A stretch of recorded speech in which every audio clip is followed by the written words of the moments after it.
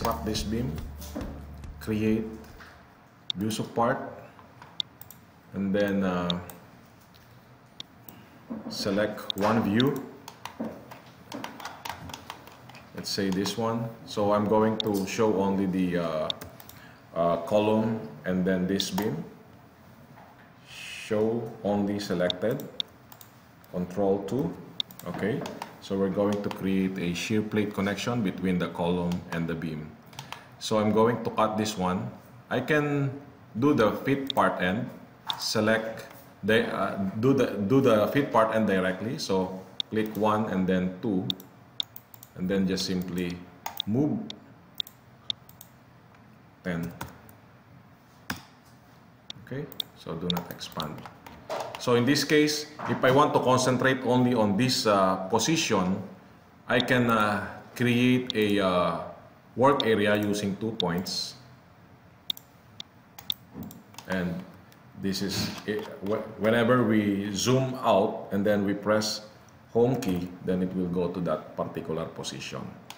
So now, um, we can now create the uh, uh, stiffener first. Okay, so for the stiffener, I can go to the other uh, view, let's say this top view. And then create the stiffener plate. So plate 10, all right, plate 10. And then I can call this one as a stiffener. And then here, front or behind. So one, two, three, four, and then middle button of your mouse. And then change this to chamfer. Let's say 15 and then 15, enter. Okay, so now you have this uh, 15, 15. All right, and then um, uh, with this one, you can go back to this view and then just simply move this or if you don't have the reference point here, you can use now the copy or move special linear and then pick this point to this point. So in, in, in this case, it will move to this, uh, this point of course. So all you have to do is to remove the, uh, the other value here, 0 and then 0 and then move. So it will only move on the Z direction. Okay? Similar to, uh, to copy, right click, copy from this point to this point, or sorry, um, copy linear from here to here, and then remove this 10, and then copy, and then this one, you can change this to behind. Alright, now you have the uh, stiffener, two stiffener top and bottom. So this time we can uh, add the, uh, the shear plate. So I can type here shear plate. And then plate 12 and uh, I'll, I'll just use the behind thing. And then again one two. That let's say this one is uh, 50 okay? And then here if this one is 10 plus 40 plus 40, then it will be uh, 9, 8, 90. Okay, 90. And then this one will be 160. Okay?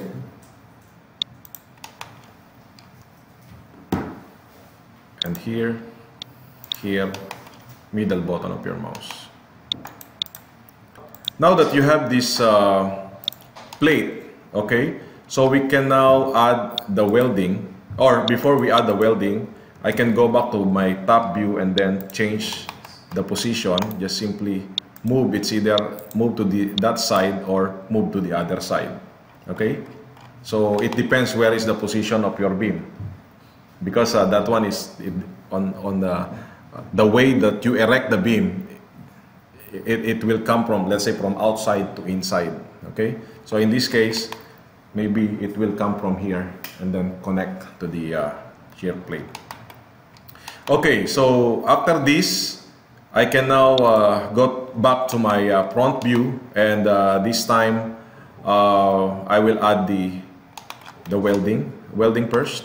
So I have the welding, so click the uh, column and weld it to the gusset plate or shear plate to the stiffener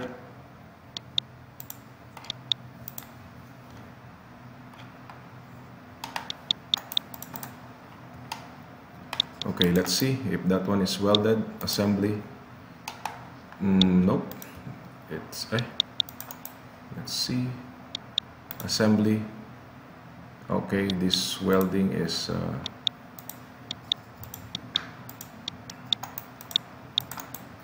inquire assembly. So you will notice that the red color is the stiffener Mm. that is wrong because the uh, the red color must be the column because that is the main part. So in that case all you have to do is to select the column right click and then you can go to this assembly and then set as a new main part of the assembly. So no need for you to remove the welding and weld it again so all you have to do is to set as a new part of assembly and there you go. So this one will be correct now.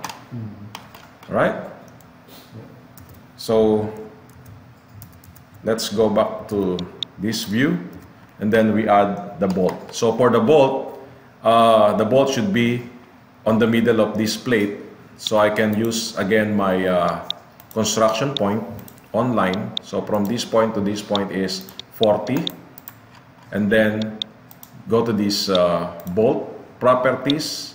Again, you can uh, remove the value here. This value. And then pick the part to bolt to the beam. And then the gusset plate or the uh, shear plate. And then middle button of your mouse. And then click this one this point and this point. And then you have now this this bolt so again from here uh, the distance of x must be 80 and then the dx must be 40 and that's it. So you have now the x distance and the y distance of the ball. Anything else that we uh, missed? Okay so this is the shear plate connection between the uh, column and the beam especially if the beam is connected to the web of the column